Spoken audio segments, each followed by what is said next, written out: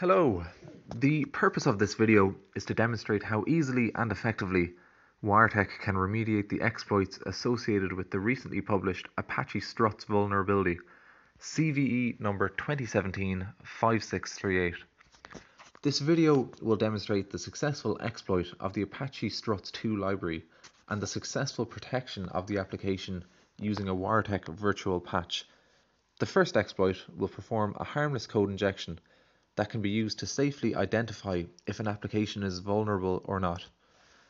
The second exploit performs remote command execution, which is a more harmful attack and is the type of exploit that is used in the wild by attackers. The third exploit is a variation of the previous one. It will perform remote command execution through a different attack vector. The first section of this video will show these exploits on a vulnerable application. Then via Waratek's management console, we will live deploy a virtual patch to protect the application. Upon running the two these exploits again, the results will show that Waratek has successfully blocked them. A key aspect to note in this demonstration is the value of Waratek in providing virtual patching for scenarios where a physical patch cannot easily be deployed.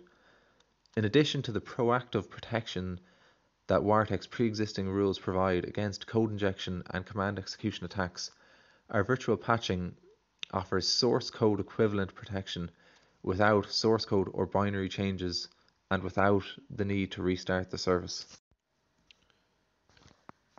So, we have a vulnerable version of Apache Struts installed, version 2.3.31, and we have it running on a Tomcat server. It's freely available online from the Apache Foundation. We chose to download a pre-built WAR file from maven.org. Our first exploit will perform a code injection attack that will illegally inject a HTTP response header. As can be seen, the Waratek header was successfully injected into the response. The presence of this injected response header proves that the web application is vulnerable to CVE 2017-5638. Moving on to our second exploit, we will see a more harmful example as it will perform remote command execution displaying the contents of the etc password file as you can see. This, this is a type of exploit that is widely used in the wild by attackers. Finally, our third exploit will use another attack vector. This exploit is a variation on the original vulnerability that will abuse the content disposition header, again displaying the etc password file.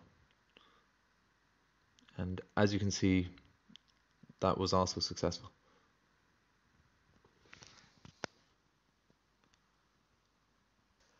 We are now in the Waratek Management Console where we will live deploy a virtual patch to protect our application against the Apache Struts vulnerability.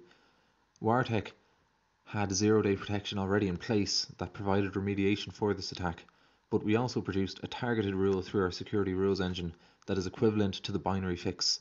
This rule provides complete zero-day protection against all variants of this exploit, both known and unknown. This virtual patch will fully remediate the vulnerable struts application against all payloads and all possible entry points. Once I activate the rule, protection is immediately in place for these exploits, without the need to redeploy the app or disrupt the service. The rules here are guaranteed not to produce a false positive. So, having applied the rules, we will check our struts application again. And we will see that it is running without issue.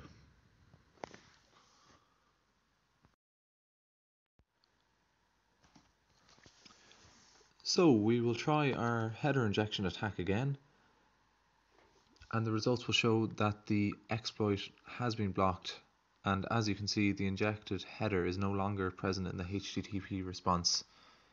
So our second exploit aims to display the contents of our vulnerable server's etc password file and as it can be seen from the HTTP response, the contents of the etc password file are not included, the payload is not executed, and the exploit was successfully blocked by Waratek.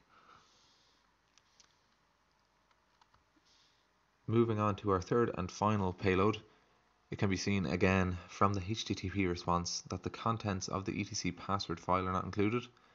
Again the payload was not executed and again the exploit was successfully blocked by Waratek.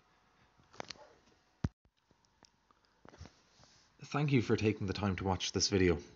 Should you wish to learn more about Waratek, please do not hesitate to contact us if you wish to evaluate our solution or if you are interested in a more technical explanation.